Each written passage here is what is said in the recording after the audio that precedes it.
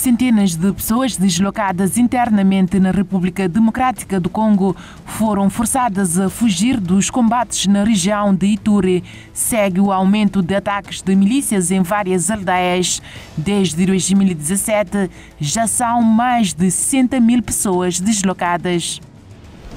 Os confrontos no Surão obrigaram mais de 11 mil pessoas a refugiarem-se no vizinho Chad desde dezembro, das quais 4 mil só na semana passada, afirmou o Alto Comissariado das Nações Unidas para os Refugiados, ACNUR.